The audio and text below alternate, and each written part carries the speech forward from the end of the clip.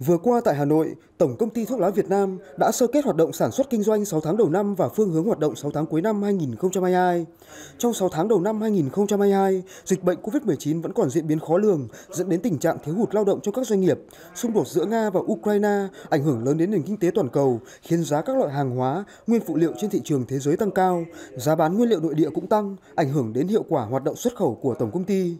Tuy nhiên, với sự quan tâm hỗ trợ và sự chỉ đạo kịp thời của lãnh đạo các cấp, tổng công ty và các đơn vị thành viên vẫn cơ bản đảm bảo ổn định hoạt động sản xuất kinh doanh, đảm bảo đời sống và việc làm cho người lao động.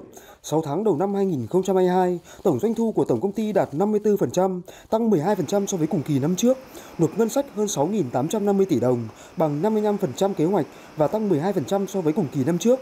Kim ngạch xuất khẩu đạt 94 triệu đô la Mỹ, bằng 51% kế hoạch và bằng 96% so với cùng kỳ năm trước.